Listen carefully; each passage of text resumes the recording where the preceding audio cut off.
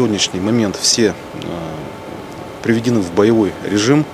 89 единиц дорожной техники задействовано на уборке улично-дорожной сети и 123 рабочих на ручной уборке. На сегодняшний момент они усилились, и поэтому, если смотреть общую картину по суткам, общее количество техники составит 98 единиц на уборке снега с проезжих частей. Сейчас э, магистраль отчитала, что они увеличили количество техники, э, э, задействованной на, при уборке снега с территории города Вологды. В первую очередь это увеличение произошло по погрузчикам для формирования так называемого снега в места, где в последующем он будет вывезен.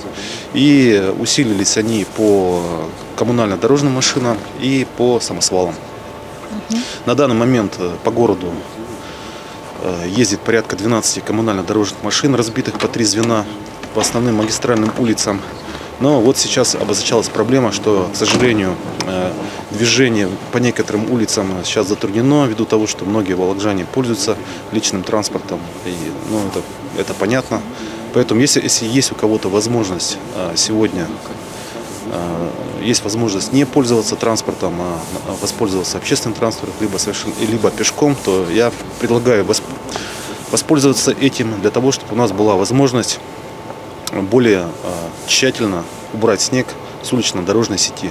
Основная работа э, снижения потока э, происходит обычно после 8 вечера. На 8 вечера а, коммунальных дорожных машин будет еще больше, их будет уже 18 штук. И, соответственно, планируем, что к началу завтрашнего дня а, и, соответственно, большую часть снежной массы с проезжих, с проезжих частей тротуаров, соответственно, убрать.